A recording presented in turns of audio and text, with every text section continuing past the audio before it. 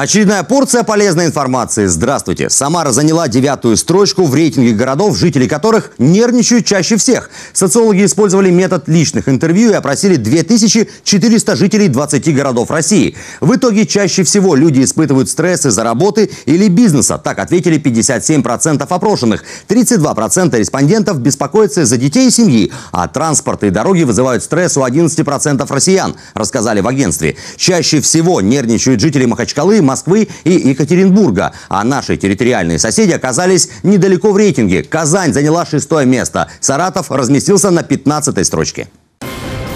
Самарских школьников познакомят с профессиями будущего и новыми технологиями. В лагере «Электроник Дубрава» под Тольятти открыли межрегиональный форум «Созвездие IQ Самарский Наноград». На форуме откроют 15 мастерских, проведут 16 мастер-классов и видеоконференции с представителями ведущих профессий России, преподавателями вузов Самарской области и со студентами. Также на форуме пройдут фестивальные вечера, спортивные соревнования и коммуникативные игры. Все это направлено на то, чтобы познакомить современных школьников с профессиями будущего, создать с ними новые программы для улучшения существующих продуктов и даже разработать совершенно новые технологии.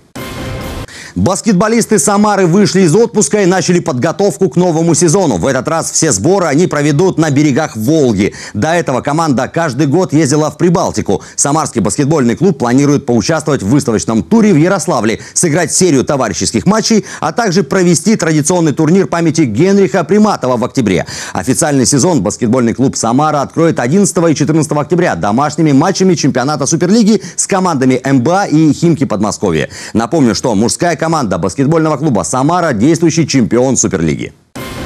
В субботу 24 августа в кинотеатре «Художественный» пройдет «Ночь кино-2019». По словам организаторов, для участников проведут бесплатные показы фильмов. Кроме того, всех гостей ждет развлекательная программа «Ретроспектива российского кино», куда войдут фотовыставка «Виват кино России», концерт группы «Авеню Бит», выступление театра «Пантомимы Гримасы», танцевальный номер от шоу-балета «Таис», а также киновикторина с призами. Вход свободный. Пока это вся информация. Будьте в курсе актуальных новостей. Смотрите программу «События» на телеканале «Самара ГИС». Всего вам доброго. До свидания.